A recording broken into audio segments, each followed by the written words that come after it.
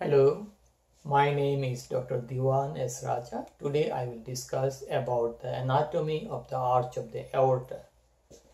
The arch of the aorta is a continuation of the ascending aorta at the level of the right second costochondral joint, right second costochondral joint. And it goes up and it is going posteriorly.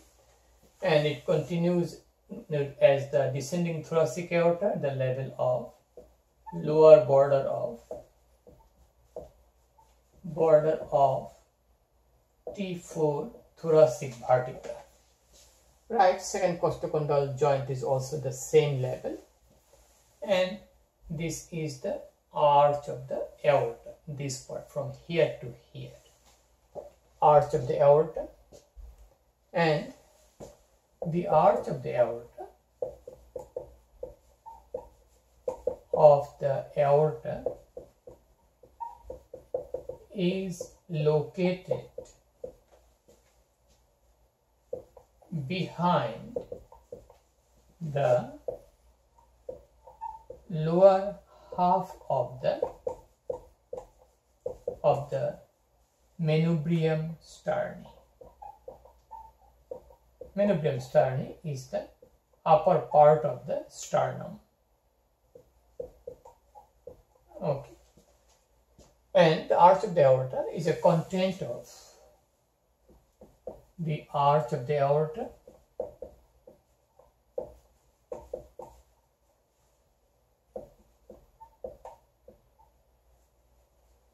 the arch of the aorta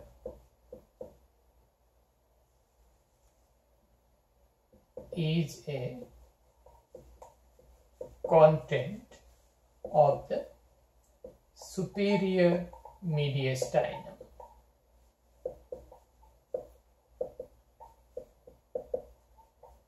Okay.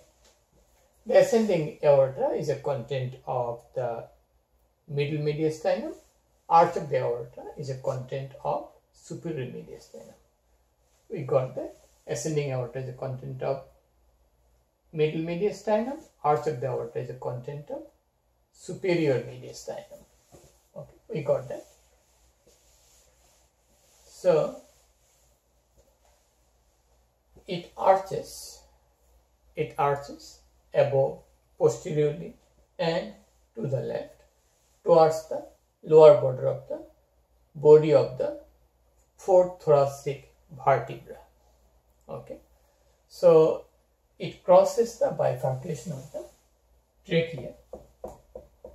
It crosses the bifurcation bifurcation of the trachea passes behind the left principal bronchus. Passes behind the left principal bronchus or main bronchus or primary bronchus. Okay.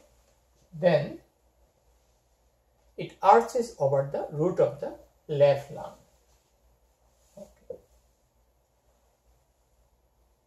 arches over the root of the left lung we got the course and relationship of the arch of the aorta. Now we'll go to the branches of the arch of the aorta. What are the branches? We have just discussed ascending aorta has two branches. One is the left coronary artery, another is the right coronary artery. They are coming out of the ascending aorta. They are not coming out of the arch of the aorta. The coronary arteries will supply the heart left coronary artery, right coronary artery. They are coming out of the ascending aorta. But we have the arteries coming out of the arch of the aorta. What are the branches? we have three major branches. One is the brachiocephalic trunk, brachiocephalic trunk, also called brachiocephalic artery, brachiocephalic artery. Okay. The number two is the left common carotid artery. Left common carotid artery.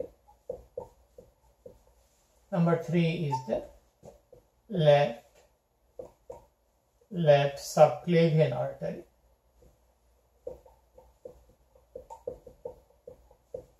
So these are the major branches of the arch of the aorta. So this is the arch of the aorta from here to here. So our first branch is the brachiocephalic trunk. We can put it one. This is the one brachiocephalic trunk. Then the left common carotid artery. We can put two. Then left subclavian artery. We can put it three. Okay. So you got brachiocephalic trunk, left common carotid artery, left subclavian artery. Brachiocephalic trunk, left common carotid artery, left subclavian artery. Okay, we got that. Now, you got the left subclavian artery. Where is my right subclavian artery? This brachiocephalic trunk has two divisions. One is the right common carotid artery here. One is the right common carotid artery. Right common carotid artery. Another one is the right subclavian artery. Subclavian artery. These are coming out of the brachiocephalic trunk. So this is the right common carotid artery. You can put it A. You can put it B, the right subclavian artery. We got the major branches of the arch of the aorta. We may get the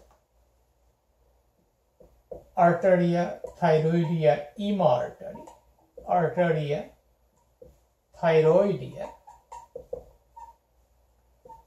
ima artery. Okay.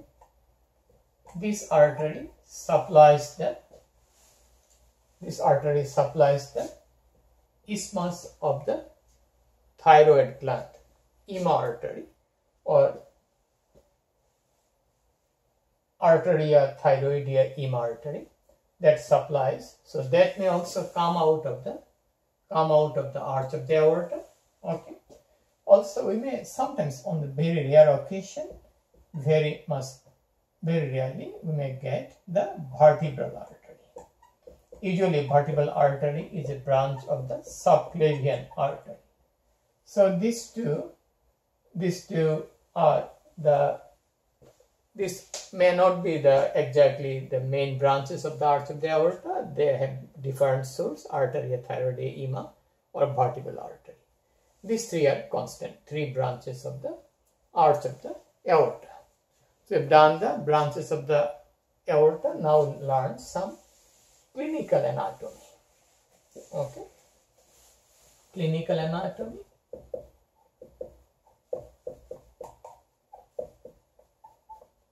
Again, we have the we may have chance of aneurysm.